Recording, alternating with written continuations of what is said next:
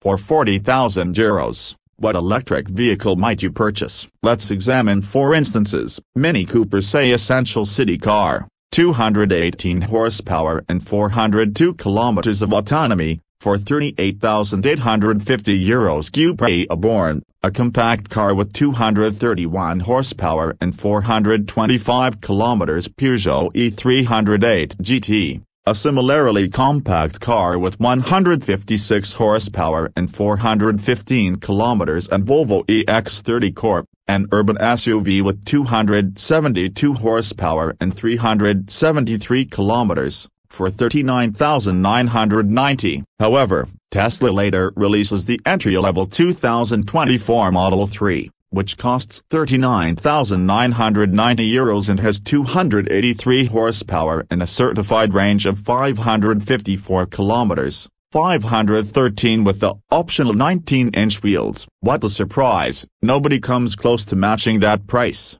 Yet we're talking about a 4.72-meter car with a good degree of overall quality. For that reason, the American manufacturers Model S primarily this Model 3 and the Model Y have come to be considered the standard for determining whether or not an electric vehicle bearing a zero badge is too expensive. How daring Elon Musk and his cronies were. All of the updated American sedan stylistic upgrades are seen in the video that concludes our test. Its aerodynamic physiognomy is, of course, perfect for allowing air to flow through the car with minimal resistance. This makes the extremely low hood uh, which is hidden from view from the driver's seat uh, stand out. Other ways to maximize range are the flush-mounted door handles and the 19-inch Nova alloy wheels, a negation 1,600 which have an outer ring for aerodynamics as well. However, I also appreciate the aggressive details, which are focused on the front wings and broad, distinct, and strong shoulders,